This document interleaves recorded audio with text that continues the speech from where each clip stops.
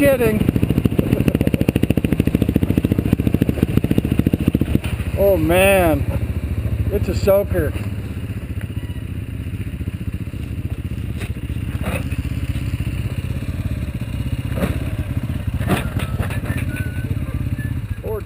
I'm on a train to nowhere.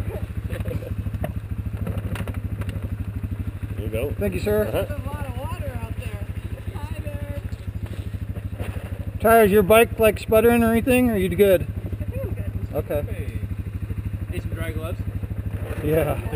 Only do good for about three minutes. Yeah. Hey, Dad. Are you good now? Have fun. Oh yeah. If it starts sputtering, we'll stop and pull your drain plug and just run without it. Okay. Not the oil drain plug. Huh? Not the oil. No, no, no. Right. Airbox. What? You're not as much faster than I And don't don't let off the throttle in the puddles. You don't want to suck water back in. Okay. Um, I'm going through the pedals in second. Is that okay? You want to what? Should I go through the pedals in second gear? Yeah, yeah, I mean I do it in first because I'm higher geared than you, but whatever's comfortable. You just don't want the water coming over the top of you. That'll slow you down anyways. You want to lead? Uh, sure. You gotta move a little. All right.